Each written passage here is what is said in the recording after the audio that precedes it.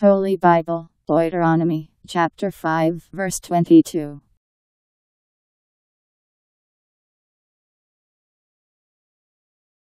These words the Lord said to all of you together on the mountain, out of the heart of the fire, out of the cloud and the dark, with a great voice, and he said no more. He put them in writing on the two stones of the law and gave them to me.